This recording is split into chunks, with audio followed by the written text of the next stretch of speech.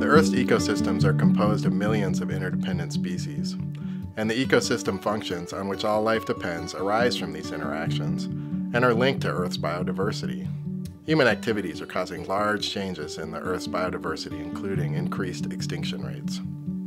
One of the most striking and controversial findings in the last decades in ecology is that changes in biodiversity can have effects on ecosystem properties such as productivity and stability that are as strong or stronger as changes in physical factors like climate or nutrient supplies.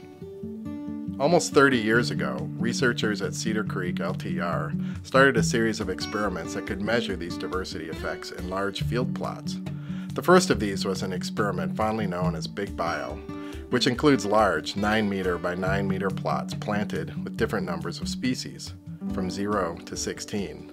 Among other things, the Big Bio experiment showed that more diverse plots have higher levels of productivity, are more stable in the face of extreme climate events, are less likely to be invaded, and that changes in diversity of plants have consequences for higher trophic levels and soil communities and processes.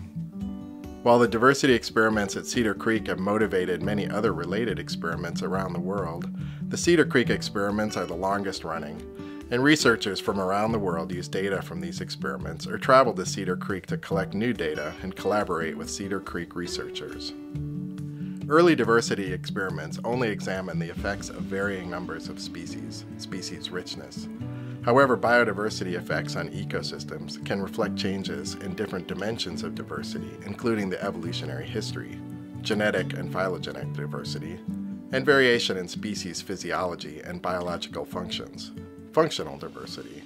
To deepen our understanding of the mechanisms that create links between biodiversity and ecosystem processes, Cedar Creek researchers have established a series of experiments that are designed to disentangle the separate effects of species richness phylogenetic diversity, and functional diversity on species interactions and ecosystem processes. We are addressing these questions in the forest and biodiversity experiments, where 12 species are planted in different combinations ranging from 1 to 12 species, and in communities where species differ in how closely related they are to one another, either evolutionarily or functionally. While the planted forest communities in this experiment will develop slowly over many decades, we already have found that both species richness and functional diversity affect seedling growth and establishment. We've also found that genetic and phylogenetic diversity can change trophic interactions, such as leaf herbivores and fungal diseases. This work has also revealed that many of these effects arise not from competition, but from facilitation. For example, biodiversity effects on productivity can arise when some species provide shade and protection from ultraviolet radiation, to other species. As these biodiversity experiments in grasslands and forests are maturing, we're able to measure long-term changes in ecosystems such as soil development.